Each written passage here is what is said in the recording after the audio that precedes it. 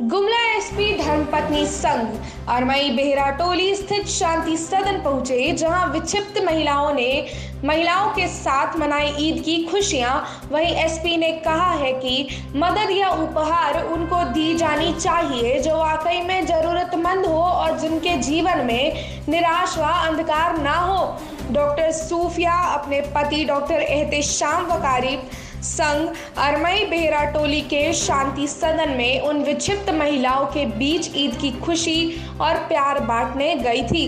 जहाँ विक्षिप्त महिलाएँ रहती हैं, उन्होंने कहा कि ये महिलाएँ बीमारी की वजह से घर परिवार से दूर है। इनको प्यार और सहयोग की ज़रूरत है। उन्होंने कहा कि ईद की खुशी हर कोई को मिले।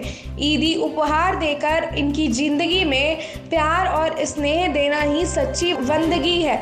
एसपी वकारिब ने कहा कि ईद के मौके पर इन महिलाओं को अपनापन जताने की ज़रूरत है। एसपी और उनकी पत्नी ने सदन संचालिका से रोगियों की देखभाल की जानकारी की। इस अवसर पर थाना प्रभारी विनोद कुमार आदि मौजूद थे। अपने राज्य से जुड़ी हर ताज़ा खबरों के लिए आप हमें सब्सक्राइब करें साथ ही बेल आइकन बटन दबाना ना भूलें।